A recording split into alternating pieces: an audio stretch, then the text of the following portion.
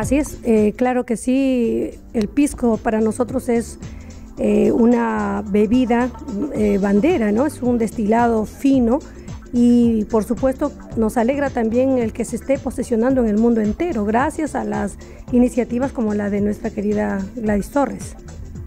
Pero remontémonos un poco pues a, esos años ¿no? de, inicio de usted que, se dedica pues a la poesía, a la música sobre todo y este y es oriunda de su bella ciudad este Cabana.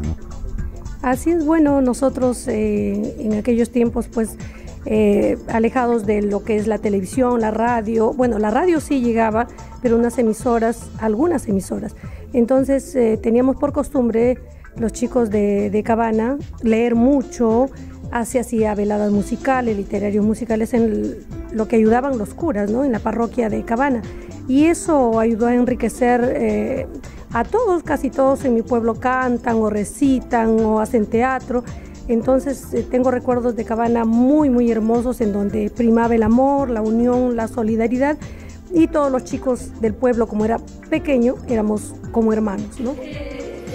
Vamos a conocer parte de los integrantes. Es un es parte también de Inti Diplomatic y bueno, él aparte de eso es un gran emprendedor porque tiene pues eh, maneja todo lo que son páginas web y ahí le dejo para que, para que, le diga algo en resumen. Bueno, yo soy, buenas tardes ante todo, mi nombre es Ricardo Palacios, soy gerente general de Era del Software SAC empresa en la que actualmente vendamos servicios de todo lo que es referente a las tecnologías. Ahora le presento a Eduardo, que es, eh, es un fuerte de la redacción, Bausatino también, comunicador social, y tenemos a Erika. A ver, ¿qué, es? A ver, este, ¿qué están haciendo? ¿Estás, este... Sí, buenas tardes. Eh, sí, yo me encargo del área de redacción de Indy Diplomatic en todos sus espacios cultural, empresarial y la diplomacia en sí. Eh, mi nombre es Eric Campos, también soy Bausatino y bueno, yo me dedico a lo que es el área audiovisual. Yeah. El área audiovisual lo que implica lo que es la fotografía, los videos, todo lo que es relacionado a las comisiones que va Indy Diplomatic como medio de comunicación.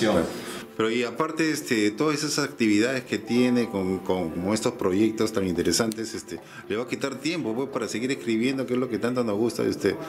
O sí, está, hay un tiempito por ahí. Se lo juro que a veces estoy este, yendo en el carro y estoy en la parte de atrás y estoy escribiendo, ¿no? O sea, yo escribo como locas todos los días, es como comer, es como un ritual para mí escribir. Eh, hay, días que puedo hacer 10 poemas, como hay días que no puedo hacer ningún poema, pero realmente yo respiro, yo vivo cantando, tarareando canciones, esa es mi, mi vibra.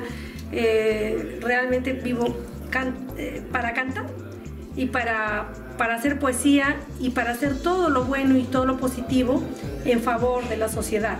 Y eso es el compromiso de los periodistas también, es una misión muy noble que tenemos que eh, ser luz para, para los demás. ¿no?